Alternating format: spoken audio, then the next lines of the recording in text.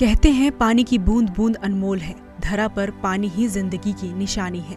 लेकिन कई इलाके ऐसे हैं जहाँ पानी की बूंद बूंद के लिए लोगों को मीलों का सफ़र करना पड़ता है। तब जाकर कहीं एक घड़ा पानी मिलता है। छत्तीसगढ़ की पानी की नगरी का हाल बेहाल है। बालोद से पानी कई जिलों में भेजा जाता है। बावजूद इसके, जल संसाधन विभाग में बैठे लापरवाहों के कारण लोगों को बूंद बूंद के लिए तरसना पड़ रहा है।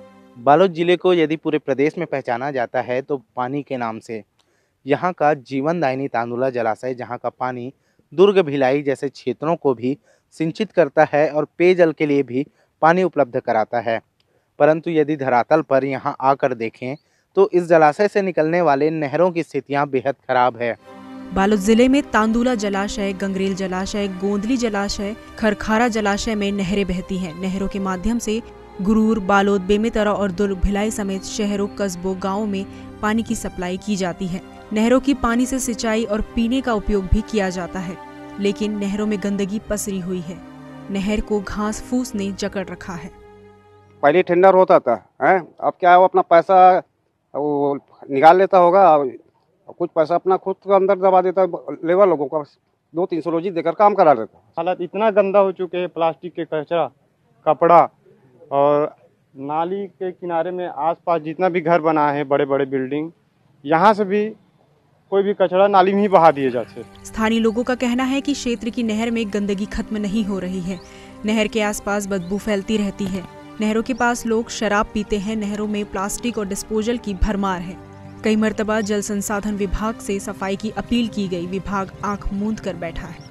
साफ़ सफ़ाई होना चाहिए। नाली है गंदगी है कचरा वचरा डाल देते हैं अच्छा नहीं लगे। नहा धोए बर परेशानी जाते। यहाँ तक के पियत भी रहन भाई ये पानी ला हमन हा बहुत कचरा वचरा डाल देते हैं अच्छा नहीं लगे। एकदम गंदगी है सीसी उसी सब फेंक डालते दारू के नहाए हुए एकदम गंदगी हो पानी यहाँ पौजो सब फेंक देते दारू मन पी के पूरा गंदगी है। जल संसाधन विभाग के अधिकारियों का भी गोलमाल जवाब देखने को मिला जबकि स्थानीय प्रशासन शराबखोरों पर पाबंदी लगाने की बजाय चुप्पी साधे हुए है। बालोद कलेक्टर जन्मेजय महोबे क्या कह रहे हैं सुनिए। अब एक तो नल में पानी नहीं आए। हाँ दो बाल्टी तीन बाल्टी पानी आई तन बंद हो जाती। हमारा इतना परेशानी हो जाती है नल नहीं है नाली नहीं है नरवा नहीं है कुछ इतना दरिया नहीं इतना बड़ा आमा पा रहा है फिर।